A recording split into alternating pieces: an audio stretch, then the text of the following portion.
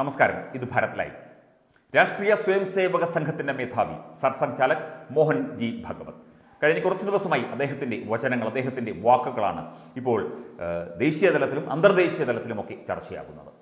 കൃത്യമായി കാര്യങ്ങൾ രാജ്യത്തിന്റെ ഹൃദയമിടിപ്പ് രാജ്യത്തെ ഓരോ ജനങ്ങളുടെയും ഹൃദയമിടിപ്പ് അറിഞ്ഞുകൊണ്ട് ചിന്തകൾ അറിഞ്ഞുകൊണ്ട് ആ വിചാരങ്ങളിൽ സ്വാംശീകരിച്ചുകൊണ്ട് ആ ബൗദ്ധിക തലങ്ങളിലൂടെ സഞ്ചരിച്ചുകൊണ്ടാണ് പ്രിയപ്പെട്ട ബഹുമാനപ്പെട്ട സർസംഘാലക് ഓരോ കാര്യങ്ങളും പറയുന്നത്.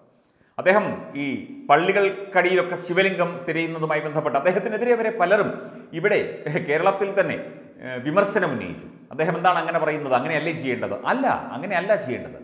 അദ്ദേഹം പറഞ്ഞത് യാഥാർത്ഥ്യമാണ്. അദ്ദേഹം പറഞ്ഞത് സാമൂഹ്യ ബോധമുള്ള ഒരു കാര്യമാണ്. ഇത് ചൂണ്ടിക്കാട്ടിക്കൊണ്ട് എന്റെ സഹപ്രവർത്തകൻ സുമേഷ് മാർക്കോപ്പോളോ കഴിഞ്ഞ ദിവസം ഒരു വാർത്ത ചെയ്തിരുന്നു. അദ്ദേഹം പറയുന്നത് കൃത്യമായ കാര്യങ്ങളാണ്. സംഘം മുന്നോട്ട് വയ്ക്കുന്നത് അഖണ്ഡ ഭാരതം ഐക്യഭാരതം ഭാരതത്തിന്റെ വികസനം. ഓരോ പൗരന്റെയും ഓരോ വ്യക്തിയുടെയും ഓരോ മൺതരിയുടെയും വികസനം എന്നുള്ള ലക്ഷ്യമാണ് സംഘം മുന്നോട്ട് വയ്ക്കുന്നത് അവിടെ ജാതിമത ചിന്തകളില്ല രാഷ്ട്രീയ ചിന്തകളില്ല. എല്ലാവരെയും ഒരുമിച്ച് ഹൃദയത്തോട് ചേർത്ത് പിടിച്ചുകൊണ്ട് ഭാരതം എന്ന രാജ്യം ലോകനെറുകയിലേക്ക് എത്തിക്കൊണ്ടിരിക്കുകയാണ്. അതെത്തണം എത്രയും പെട്ടെന്ന് എന്ന ഒരു നിലപാടാണ് തീർച്ചയായിട്ടും രാഷ്ട്രീയ സ്വയം സേവക സംഘം പോലെ ഒരു സാംസ്കാരിക സംഘടന ലോകത്തിലെ ഏറ്റവും വലിയ സാംസ്കാരിക സംഘടനകളിൽ ഒന്ന് മുന്നോട്ട് വയ്ക്കുന്നത്. ഇതാ അദ്ദേഹം വീണ്ടും കാര്യങ്ങൾ പറയുകയാണ് കാര്യങ്ങൾ തുറന്ന് പറയുകയാണ്. രാഷ്ട്രത്തിന്റെ പരമവൈഭവം സാധ്യമാക്കുന്നതിന് ആവശ്യമുള്ള യോഗ്യതകളെ പ്രാപ്തമാക്കുന്നതിന് വേണ്ടി നമ്മൾ പരിശ്രമിക്കണം. ഭാരത് മതാ കി ജയ് മുഴുവൻ വിശ്വത്തിലും മുഴങ്ങണം. ലോകം ലോക ജനത ഭാരതത്തെ അംഗീകരിക്കണം. വിശ്വ വിജേതാവാകാനുള്ള ആഗ്രഹമല്ല. അതിനു പിന്നിൽ നമുക്കാരെയും ജയിക്കേണ്ട. എന്നാൽ എല്ലാവരെയും യോജിപ്പിക്കേണ്ടതുണ്ട്. ഐക്യമാണ്. ലോകത്തിന്റെ ഐക്യം.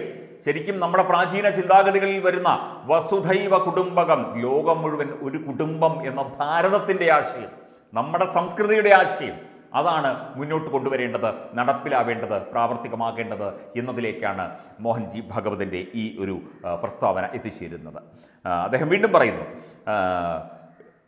രാഷ്ട്രീയ സ്വയംസേവക സംഘത്തിന്റെ പ്രവർത്തനം എല്ലാവരെയും ഒരുമിച്ച് ചേർക്കാനുള്ളതാണ്. സ്വാതന്ത്ര്യത്തിന്റെ എഴുപത്തിയഞ്ചാം വർഷമാണ് ഇത്.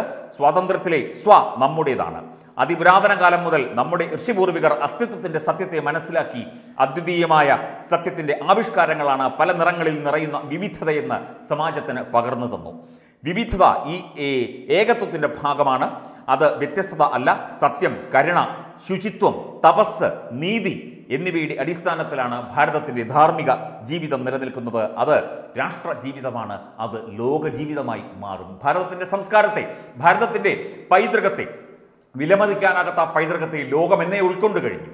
ഇവിടെ മതഭീകരതയും രാജ്യ രാജ്യ ലോകവിരുദ്ധ ശക്തി ശക്തികളും ഇത്രയും വളർന്നു വന്നിട്ടും ആ ഒരു സാംസ്കാരിക സമ്പന്നതയെ ലോകം അംഗീകരിച്ചു എന്ന് പറഞ്ഞാൽ ഭാരതത്തെ ലോകം അംഗീകരിച്ചു എന്ന് തന്നെയാണ് ഭാരതത്തിന്റെ ചിട്ടകളെ ജീവിതക്രമങ്ങളെ ഭാരതത്തിന്റെ ഐക്യത്തെ അഖണ്ഡതയെ സ്നേഹത്തെ നന്മയെ ഒക്കെ തന്നെ ലോകം അംഗീകരിച്ചു കഴിഞ്ഞു എന്നുള്ളത് തന്നെയാണ്. ലോകം മുഴുവൻ മുഴങ്ങട്ടെ. ഭാരത് മാതാ കി ജയ്. വസുധൈവ കുടുംബകം തുടങ്ങിയ മന്ത്രം. അതുപോലെ ലോക സമസ്ത സുഖിനോ ഭവന്തു തുടങ്ങിയ നമ്മുടെ മന്ത്രങ്ങൾ. നമ്മുടെ ഭാരതത്തിന്റെ മന്ത്രങ്ങൾ ലോകം മുഴുവൻ മുഴങ്ങട്ടെ. ലോകമൊന്നാകട്ടെ.